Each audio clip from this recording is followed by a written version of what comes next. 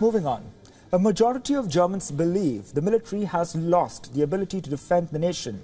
This according to a survey in which only 10% respondents expressed confidence in the armed forces. The survey conducted by research firm Civey claims 30% respondents have no confidence at all that the German military can defend them in case of an attack.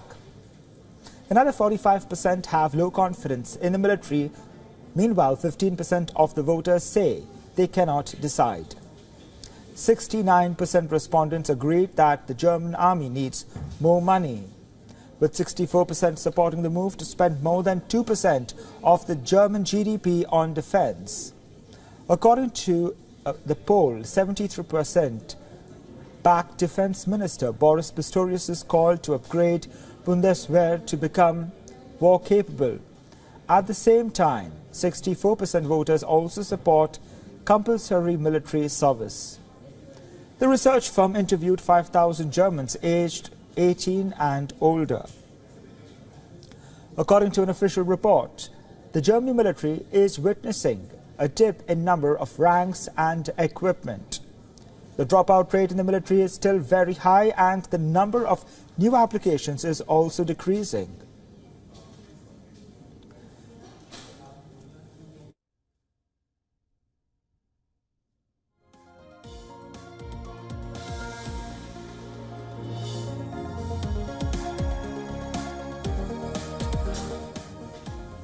The shortage of military personnel and equipment comes amid Germany's continuous efforts to provide military aid to Ukraine. With $19 billion, Germany is the second biggest donor of military aid to Ukraine.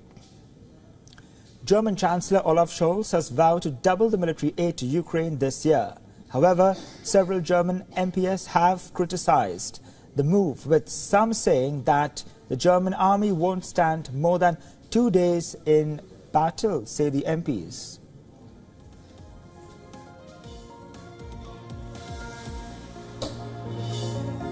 For all the latest news, download the WION app and subscribe to our YouTube channel.